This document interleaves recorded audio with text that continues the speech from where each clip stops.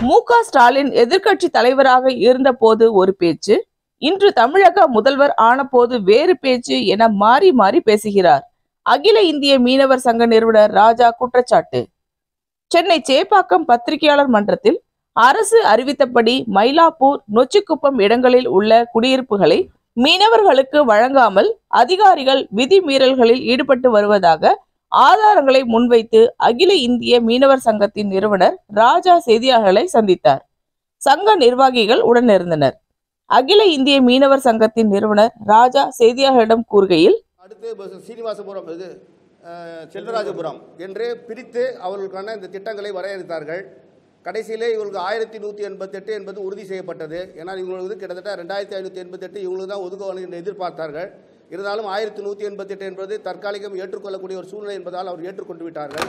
இந்த சூழ்நிலையிலே இந்த தொழில் ரீதியாக பாதுகாக்கப்பட வேண்டும் என்பது இவருடைய கோரிக்கை.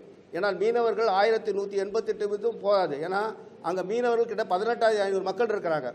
அந்த பதினெட்டாயிரத்தி ஐநூறு மக்களுடைய பூர்வீக மக்களுடைய பாரம்பரிய வா- வேலைவாய்ப்பு அவங்களுடைய வாழ்வாதாரம் அங்கே தான் இருக்குது அந்த வாழ்வாதாரத்தை நம்பி தான் அவங்க வாழ்க்கை நடத்தி கொண்டிருக்கிறாங்க.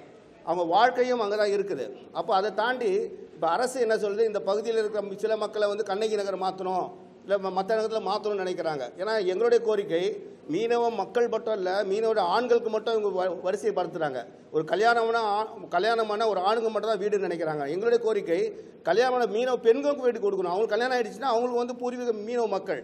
அவங்க வந்து பாரம்பரிய மீனவ மக்கள். இன்னொன்று திட்டம் என்னென்னா அந்த பாரம்பரிய மீனவ மக்களுக்கு அவங்களுடைய தரங்கள் அவங்களுடைய வாழ்க்கை இந்த பகுதியில் தான் இருக்குது அதை வந்து நம்ம வந்து மக்கள் வந்து அரசு ஏற்றுக்கணும் இந்த அதிகாரிகள் வந்து என்ன பண்ணுறாங்கன்னா இந்த பகுதியில் உள்ள மீனவர்கள் வந்து பாரம்பரியமாக இந்த பகுதியில் என்ன இருப்பாங்கன்னா மீனவர்கள் பட்டினவ மக்களாக இருப்பாங்க. இந்த பட்டினவ ஜாதியை சேர்ந்த இந்த மீனவ மக்கள் தாங்க பெரும்பாலும் இருப்பாங்க. ஆனால் அரசு வந்து இந்த இப்போ எடுத்த பார்த்தீங்கன்னா இப்போ துமிங்குப்பம் பகுதியில் உள்ள மீனவர்களும் மற்ற பகுதியில் மீனவர்னு சொல்கிறாங்க அதில் பார்த்தீங்கன்னா இரநூத்தி பதினாறு பேர் அலாட் பண்ணியிருக்காங்க கிட்டத்தட்ட. அந்த இரநூத்தி பதினாறு மீனவர்களும் மீனவர்களாக இருப்பதில் இருக்க மாட்டாங்க. அப்போது பாரம்பரியம் இருக்கக்கூடிய பட்டினம் இனத்தை சேர்ந்தவர்கள் அந்த பகுதியில் வந்து சென்சஸ் எடுத்து பார்த்தாலே தெரியும். அது வந்து நிறைய ஃபோர்ஜரி நடந்திருக்குன்ட்டு. ஆக கபாலி என்பவர் கிட்டத்தட்ட வந்து வேறு பகுதியில் வாழ் வாழ்ந்து வரார். அவருக்கும் வீடு கொடுக்குறாங்க. அப்படி ஒரு ஒருத்தருக்கும் இன்றைக்கி வந்து சென்சஸ் எடுத்து பார்க்கும்போது இதில் வந்து நிறைய பிரச்சனைகள் இருக்குது ஆக அரசு வந்து இந்த இந்த துறையை வந்து மீன்வளத்துறை மூலயமா இது வந்து அலசி ஆராயணும். ஏன்னா மீன்வளத்துறையில் மீனவர்களுக்கான திட்டங்கள் இருக்குது மீனவர்களுக்கான செயல் திட்டம் இருக்குது இந்த குடிசை மாற்று உரிமை கட்டிய வீடுகள் குடிசை மாற்று அதிகாரிகளை மாற்றிட்டு இது முழுக்க முழுக்க அங்கே இருக்கக்கூடிய இந்த குடிசை மீனவ மீன்வளத்துறை மூலிமா இது அலசி ஆராய்ந்து அதற்கான திட்டங்கள் வரையறுக்கும் போது மட்டும்தான் இது வந்து செ- சென்சஸ் முடிக்க முடியும். இது இல்லாமல் இந்த ஆயிரத்தி நூற்றி எண்பத்தெட்டு வீடு இல்லாமல் மேற்கொண்டு ஒரு மூவாயிரம் வீடு வந்து இந்த பகுதியில் வந்து கொடுக்கணும். அப்போ தான் மீனவ பெண்களுக்கும் மீனவர்களுக்கும் இந்த வீடு கிட்டத்தட்ட ஒரு நாலாயிரத்தி நூற்றி எண்பத்தெட்டு வீடுகள் கிடைக்கும் போது மட்டும்தான் இது சாத்தியக்கூறு. இதுக்காக போராடிய மீனவ தலைவர்கள் நாலு பேரை வந்து அரெஸ்ட் பண்ணியிருக்காங்க. அது வந்து வன்மையாக கட்ட கண்டிக்கத்தக்கது. ஏன்னா அவங்களுடைய போராட்டம் என்பது கிட்டத்தட்ட இந்த லூப் சாலை என்று சொல்லி மெ- மெரினா கடற்கரையில் லூப் சாலை இருக்குது அந்த லூப் சாலை முழுக்க முழுக்க மீனவர்களுடையது. பூர்வீக மீனவ மக்கள் வாழ்ந்து வளர்ந்த பகுதி அது. அந்த பகுதியில் மீனவர்களுக்காக மீனவர்கள் வந்து கே கேட்டுக்கொண்டு மீனவர்கிட்ட கேட்குறாங்க நம்ம ஸ்கூல் அது சாந்தம் ஸ்கூலில் ப பசங்க படிக்கிறாங்க.